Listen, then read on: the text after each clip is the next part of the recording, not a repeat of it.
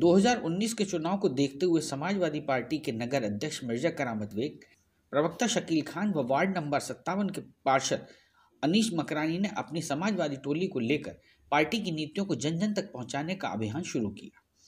इस दौरान यह लोग विसात खाना राय का ताजिया नरिया बाज़ार आदि स्थानों पर गए और लोगों को समाजवादी पार्टी की नीतियों व अखिलेश यादव द्वारा किए गए कार्यों को बताया। इस दौरान बताया गया कि यह जन जागरण अभियान 20 तारीख तक चलेगा।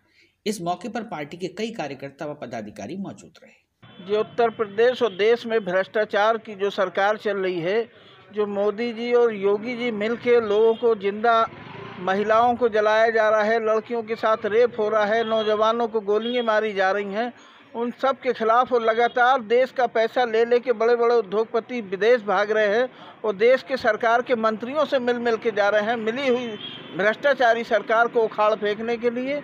माननीय अखिलेश यादव जी ने जो जन जागरण अभियान चलाया है, जनता से मिलकर लोगों को जागरूक करने का, वो हम लोग चला रहे हैं। और समाजवादी पार्टी की नीतियाँ बता रहे हैं ताकि आने वाला भविष्य देश का सुरक्षित हो और दंगे फसाद से देश मुक्त हो, लोगों को ज़िंदगी जीने की सहूलियत मिले देश में शिक्षा का विकास हो ताकि नौजवान अपना भविष्य तय कर पाएँ।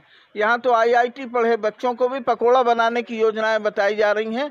देश में नौकरियाँ ख़त्म हो गई सिर्फ़ धर्म के नाम पे लोगों को बेवकूफ़ बनाया जा रहा।